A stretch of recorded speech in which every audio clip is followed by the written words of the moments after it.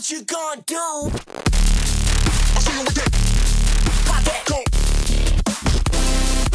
Now let me see you go. I see you with that. Pop that. Now let me see you go. I see you with that. Pop that. Go. Now let me see you go. I see you with that.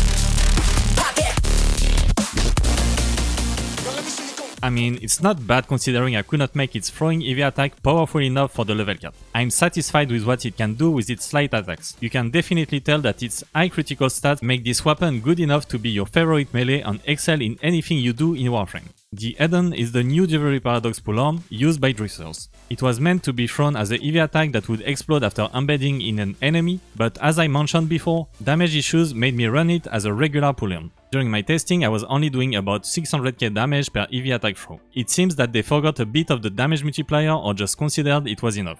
Anyways, I use the uncommon Twirling Spire stance, which, in my opinion, is way better than the Shimmering Blight one. To stack your combo with this weapon you need to use the forward attack, to cleave enemies the block attack, and the neutral attack to kill heavy units. If you want to headshot, aim at the stomach of your enemy. This stance neutral attack also does a force slash, making it an excellent choice for dealing with armored enemies. And with the fact that I modded my Edun for a pure damage build, this bleed is brutal.